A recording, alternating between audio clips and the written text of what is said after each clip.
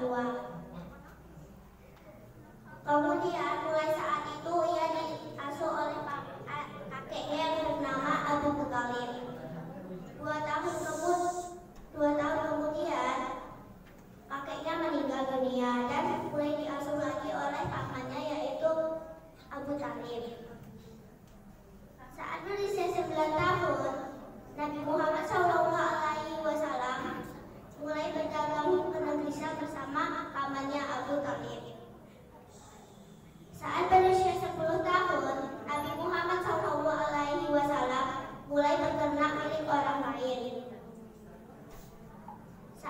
our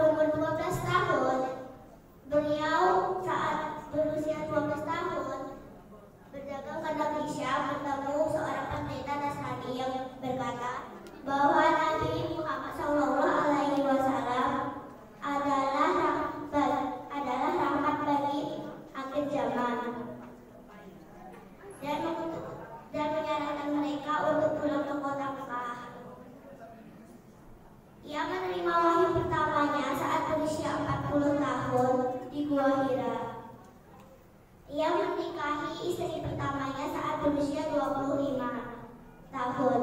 Dan ia dikaruniai anak enam yaitu Qasim, Abdullah, Zainab,